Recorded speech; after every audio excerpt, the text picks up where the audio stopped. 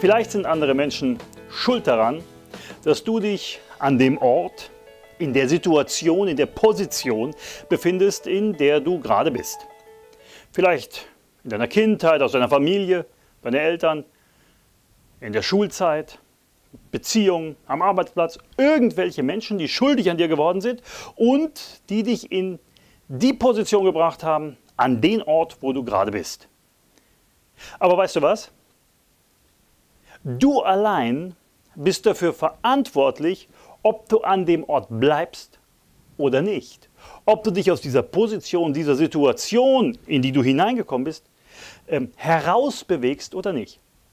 Schau, als du von neuem geboren wurdest, als du Jesus angenommen hast, hast du die Ressourcen eines neuen Lebens bekommen. Und Gott sagt, ich habe für dich ein verheißenes Land und da kannst du dich hineinbewegen. Bleib nicht in deinem persönlichen Ägypten hocken, wenn du die Möglichkeit hast, in dein verheißenes Land zu gehen.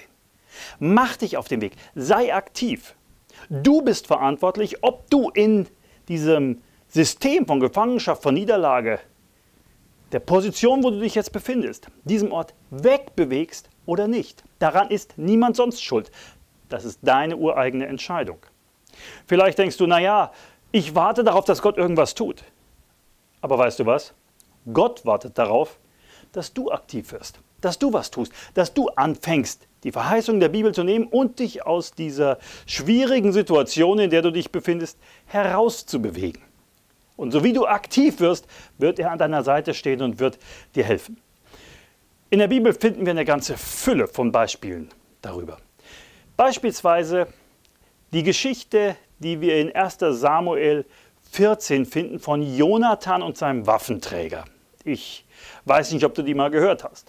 König Saul saß mit seinen Soldaten unterm Baum und der Feind war mitten im Land. Es war Bedrängnis, es war schwierig, es war eine äh, ganz komische Situation und das schwelte so. Und das, dieser Zustand hielt sich und hielt sich und es veränderte sich nichts. Und irgendwann hatte dieser Jonathan einfach die Nase voll und hat gesagt, grad schickt's, ich fang an und mach etwas. Vielleicht ist der Herr mit mir. Vielleicht passiert was. Vielleicht kommen wir aus diesem elenden, äh, äh Situation, dieser elenden Situation raus. Und er geht einfach los, fängt von sich aus an, den Feind zu attackieren und es kommt zu einem gewaltigen, gewaltigen Sieg. Wenige Kapitel später, in 1 Samuel 17, findest du die super bekannte Geschichte von David und Goliath. Die gleiche Situation. Das Volk, also die Soldaten, ähm, sind eingeschüchtert, sind verängstigt, hocken da und es heißt, dass der Feind in Form von Goliath 40 Tage lang das Volk verspottet hat und Gott gelästert hat und es einfach diese komische, schwelende, unklare Situation gab. Und die Soldaten waren verängstigt und eingeschüchtert und es passiert überhaupt nichts. Dann kommt David daher, schaut sich das an, sagt, ja, was ist denn hier los? Und er fängt einfach an, mit im Grunde genommen nichts, was er in der Hand hat, und geht los gegen den Feind und der Herr ist mit ihm.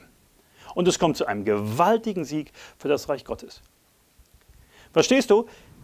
Man muss losgehen im Vertrauen auf Gott. Man muss einfach anfangen, in das hineinzugehen, was Gott verheißen hat. Man muss aktiv die Verheißungen in Anspruch nehmen.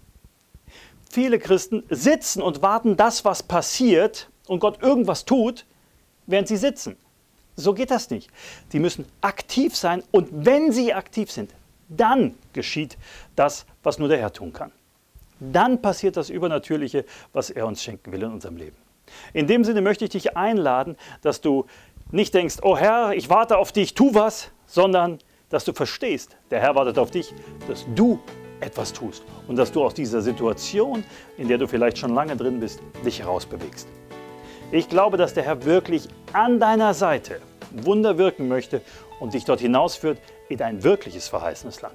Ich glaube, Gott hat mehr für dich.